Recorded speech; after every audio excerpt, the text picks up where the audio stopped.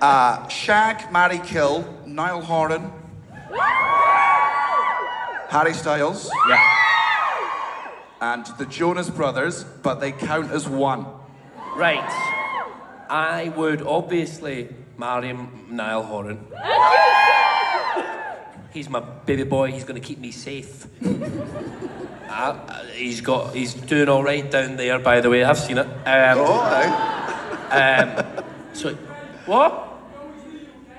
You always knew I was gay. Thank you very much. I take that as a great compliment, sir.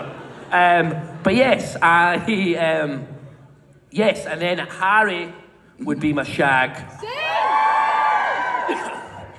Find him about fucking find out watermelon sugar for real. you know what I'm Yeah, saying? It'd be a it'd be a different song if it was about rimming me.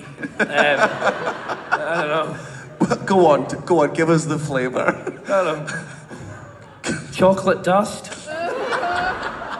Doesn't sound as good. Um, It does not. And yet, the Jonas Brothers, I would not avoid, like, if I had the chance, all of them in a pile. Yeah. But just because it's my, those are my Harry Styles, Niall Horan, those are my boys. Plus, I've kissed both of them on the lips. So I feel Yeah. like I feel like I'm closer. I feel like I'm closer to achieving Yeah. that goal. Whereas the the Joe Bros I've met, Yeah. they've held me in their arms. Of course they have, but I haven't quite crossed that bridge into physical contact yet. But just to confirm, you do think you could kill all three?